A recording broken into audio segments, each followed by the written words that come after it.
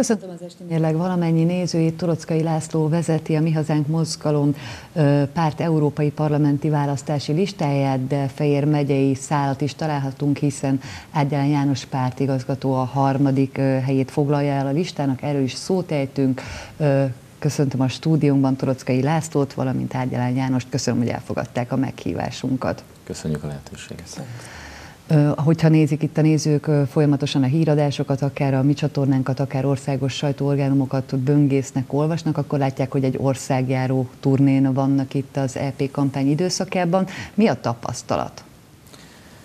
Hát elsősorban azt lehet látni, és ez már a tavalyi országgyűlési választások kapcsán is látható volt, hogy egyrészt van egyfajta közöny és fásultság, úgy általában a politika iránt, ugyanakkor komoly érdeklődés övezi ennek az új mozgalomnak a születését, hiszen hát Magyarországon nagyon régóta nem volt ilyen alulról építkező mozgalom, mint a Mi Hazánk mozgalom, amely valami egészen új dolgot szeretne hozni, ugyanis mi azt látjuk, hogy már az elsikasztott rendszerváltozás óta két polusú politikai rendszer alakult ki. Van az egyik oldalon az úgynevezett NER rendszer, vagy Fidesz, a másik oldalon pedig a mostanra már egyesült balliberális tömb és hát ennek a két tömnek megvannak a maga karizmatikus, erős vezető alakjai, az egyik oldalon Orbán Viktor, a másik oldalon pedig Gyurcsány Ferenc, az egyetlen olyan vezető a balliberális táborból, akinek van valamilyen ideológia a fejében, és aki kellőképpen erősnek tűnik ahhoz, hogy a többieket maga alá gyűrje.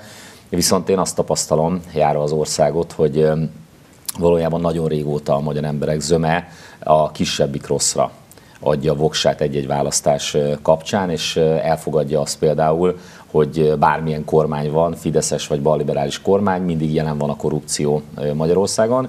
Mi pedig azt mondjuk, hogy szeretnénk alternatívát kínálni azon magyar választópolgárok számára, akik sem Orbán Viktor, sem Gyurcsány Ferenc kormányából nem kérnek. Mind a két tábor, mind a két tömb bizonyíthatta már, hogy mire képes kormányon mi azokat az embereket, azokat a milliókat szeretnénk képviselni, akik valójában egy harmadik oldalt, egy alternatívát szeretnének.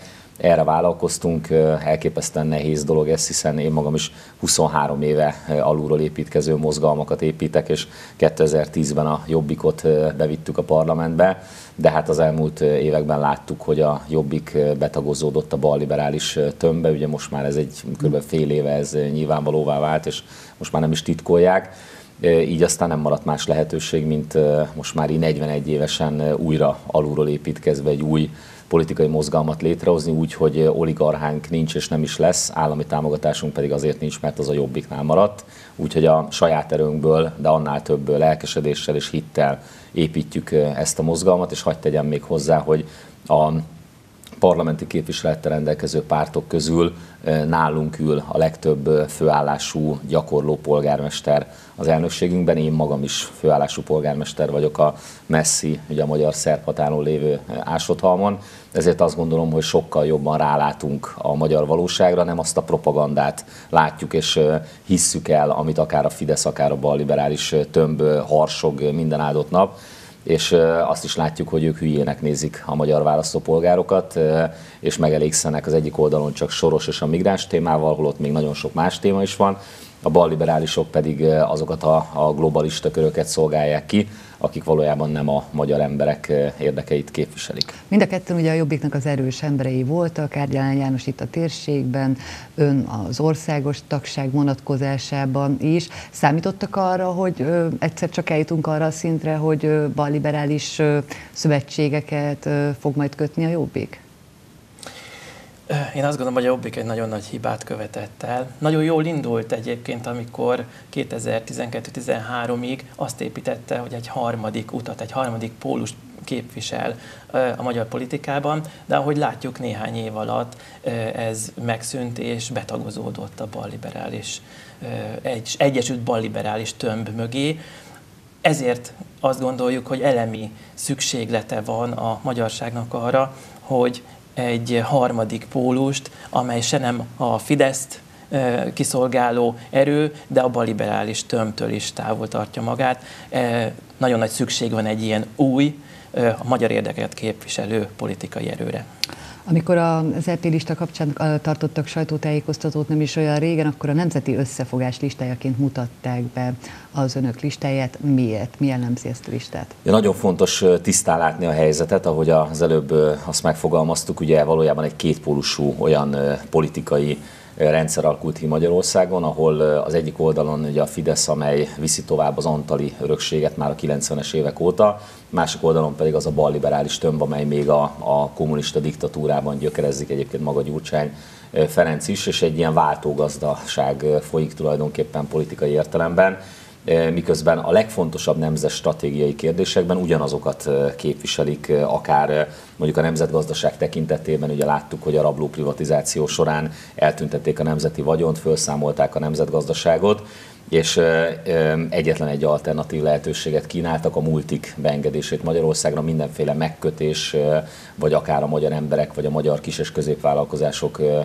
védelme nélkül. Mi ezzel szemben kínálunk valamilyen alternatívát, és mondjuk azt, hogy mi egy olyan harmadik oldalt szeretnénk létrehozni, amely nem csak a mi hazánk mozgalomról szól, a mi hazánk mozgalom a vezető ereje ennek a harmadik oldalnak, de például két olyan történelmi párt is csatlakozott már ehhez a szövetséghez, mint a Miép és a Független Kisgazdapárt, amelyeknek a hangja nagyon régóta hiányzik az országgyűlésből.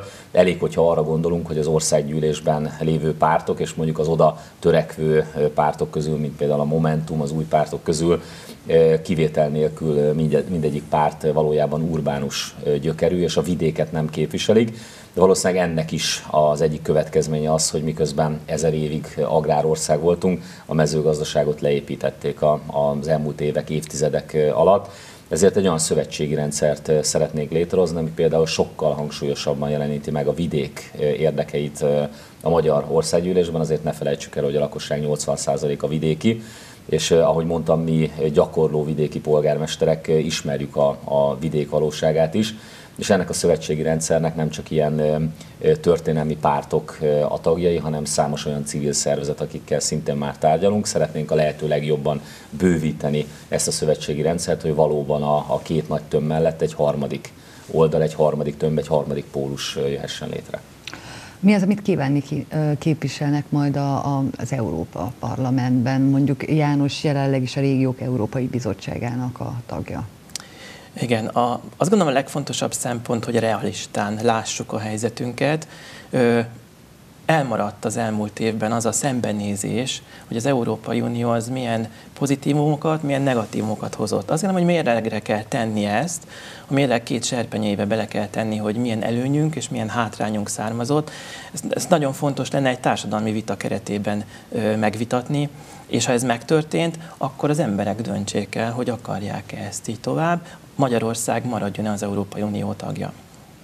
Én arról, arról beszéltem, hogy Magyarországon ez a megfáradt politikai elit uralja tulajdonképpen a magyar politikát, váltógazdaságot működtetve, alapvető kérdésekben, mint a multik támogatása és sok hasonló, vagy akár a bankok támogatása a magyar emberekkel szemben, hiszen a Mi Hazánk mozgalom számos devizahitelest mentett meg például a kilakoltatástól az elmúlt hónapokban. Többre voltunk képesek néhány hónap alatt, mint az úgynevezett ellenzéki pártok zöme, a most már egyesült balliberális tömb mondjuk egy évtized alatt. Tehát mi valamilyen egészen új alternatív lehetőséget szeretnénk kínálni a magyar embereknek. Számunkra a magyarok a legfontosabbak, ez a programunk fő üzenete, hogy, hogy számunkra a magyarok az elsők. Mi magyarok vagyunk, ez a mi hazánk, és mindenki más, akár a multik, vagy bárki másnak az érdekét meg kell, hogy előzzék a magyarok érdekei.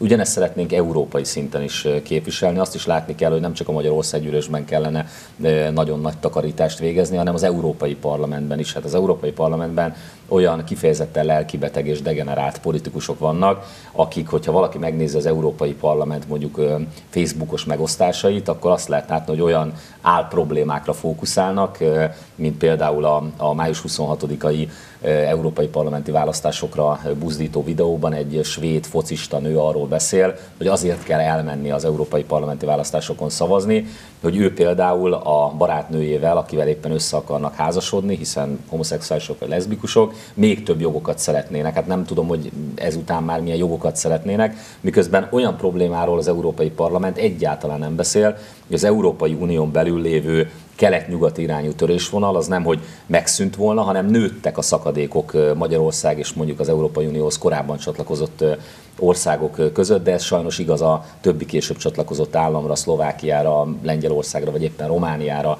vagy akár Horvátországra is. Nem beszél az Európai Parlament arról, egyetlen egy megosztást nem látunk a saját közösségi oldalukon sem, hogy miközben az egész világon rohamosan nő a népesség, a század végére az ENSZ prognózisa szerint 11,2 milliárd ember él majd a Földön, de közben egyetlen egy kontinens van, ahol rohamosan csökken a lakosság, és ez pedig éppen Európa. Nem arról beszél, hogy hogyan kellene azt elérni, hogy több gyermek szülessen Európában, hogyan lehet elérni azt, hogy támogassák a az európai családokat, hogyan lehet azt elérni, hogy a, az európai fizetések, bérek vonatkozásában legalább vagy legyen valamilyen szabályozás, hogy ne lehessen, ne történhessen meg az, hogy mondjuk Sopronban, ha valaki a Spárnál dolgozik, magyar ember, az óriási különbséggel, hihetetlenül alacsony bérért ugyanazt a munkát végzi, ugyanolyan körülmények, vagy sok esetben rosszabb körülmények között, mint a néhány kilométerrel arrébb, szintén mondjuk egy spárüzletben dolgozó másik magyar honfitársa, aki éppen már az osztrák határ túloldalán van. Tehát ezekkel kellene foglalkozni az Európai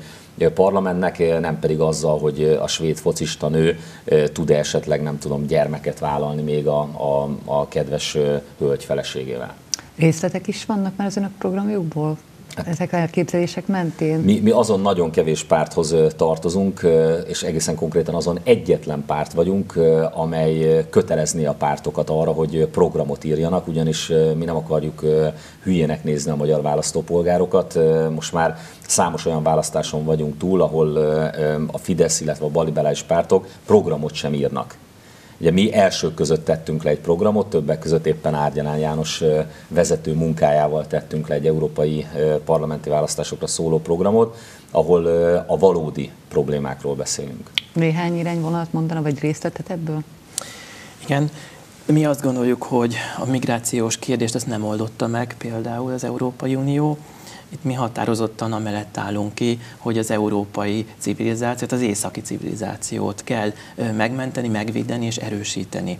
Azt gondolom, hogy ez egy kulcskérdés és egy választóvonal most az európai parlamenti választások alkalmával.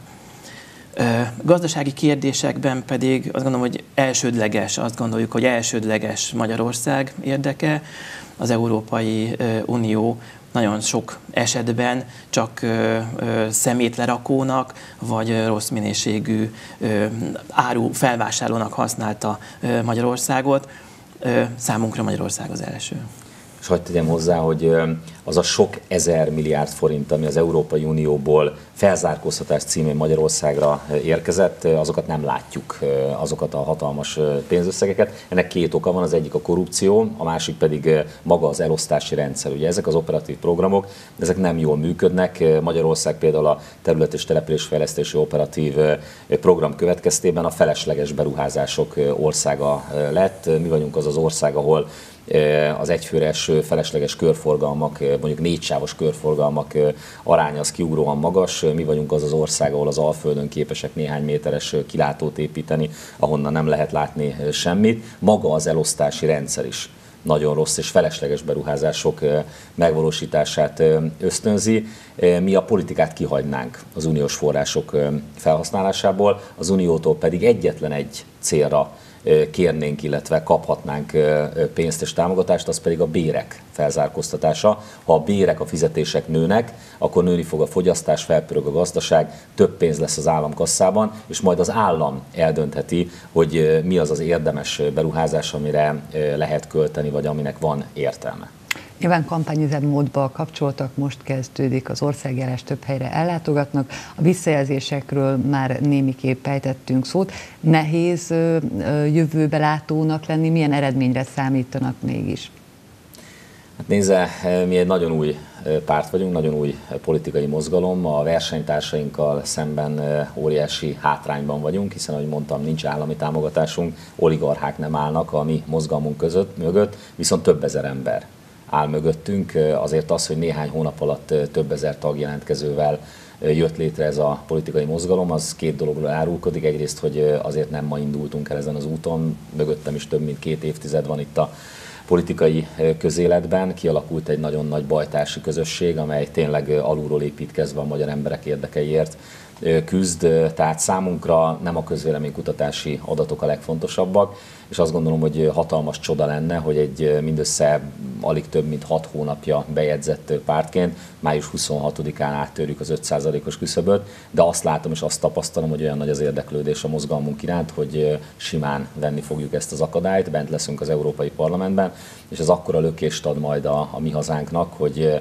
már az önkormányzati választásokon, illetve 2022-ben már megkerülhetetlen politikai erővé válunk.